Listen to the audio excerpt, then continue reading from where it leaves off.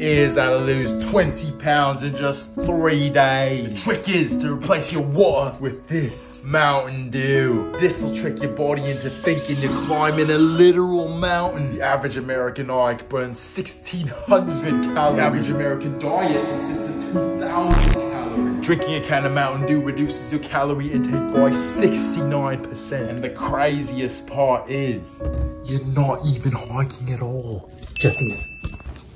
Just